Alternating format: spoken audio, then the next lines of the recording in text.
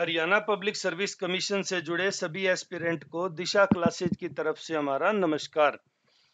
तो Haryana civil service को लेके एचपीएससी में काफ़ी तेज़ी से काम हो रहा है। देखते हैं, आज रिप्रेजेंटेशन मांगते हैं तो क्या रहता है, वो जब कंप्लीट इन्फॉर्मेशन आ जाएगी तो मैं शाम तक आपको इन्फॉर्म करवा दूँगा। इसके अलावा जो मेजर बात चल रही है, वो टीओ एटीओ एग्ज़ाम को लेके है। तेरह चार 2023 से फॉर्म भरने स्टार्ट किए गए थे, जो 28 चार 2023 तक भरे गए।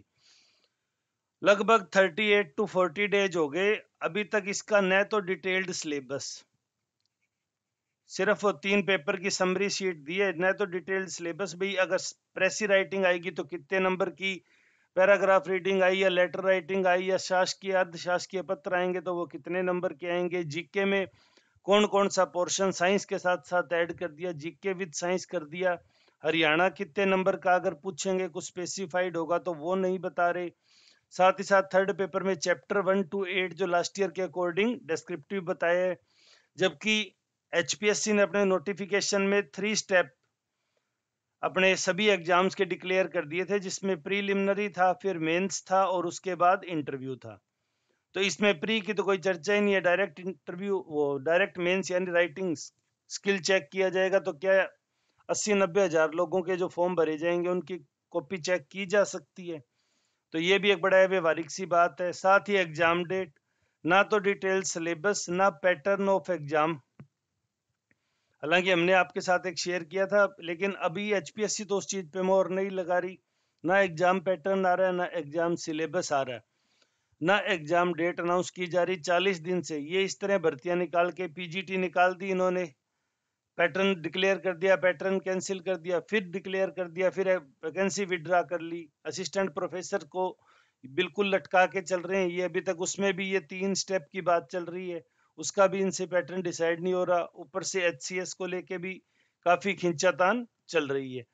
तो एचपीएससी क्या करेगी इस मामले में? मेरा तो एस्पिरेंट से अनुरोध है कि वो कम से कम एग्ज़ाम को टाइम बाउंड कंडीशन में कराने के लिए जहाँ भी ज़रूरी हो, चाहे माननीय मुख्यमंत्री जी के ट्विटर हैंडल पे या डीआईपीआर के जो ट्विटर हैंडल पे, जहाँ कहीं भी वो टैग करके लिख सके भी कोई भर्ती तो कंप्लीट करवाओ। 2023 में सिर्फ़ रिक्रूटमेंट निकालने से क्या होता है?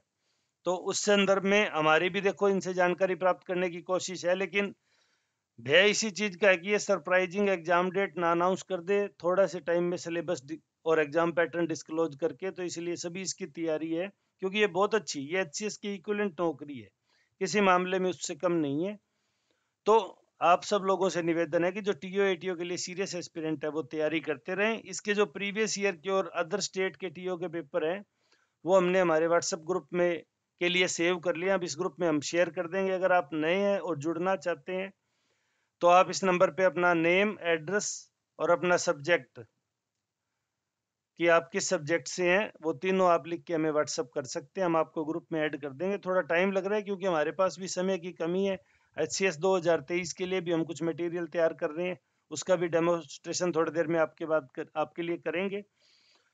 तो टीओ एटीओ के एस्पिरेंट के लिए वीडियो बनाया था कि आप अपनी तैयारी सीरियस रखें ये खाली समय में एच से ध्यान भटकाने के लिए इस एग्ज़ाम की डेट कभी भी अनाउंस कर देंगे। तो आप अपनी तैयारी को जोरों शोरों से जारी रखें हमारे लायक कोई भी आपसे सवाल हो तो आप कमेंट सेक्शन में पूछ सकते हैं। चैनल पे नए हैं तो चैनल को सब्सक्राइब कर लें बेल आइकन ज़रूर दबा लें, ताकि आगामी वीडियो का नोटिफिकेशन सबसे पहले आपको मिल सके। वीडियो में अंत तक जुड़े रहने के लिए धन्यवाद। आपका दिन शुभ हो।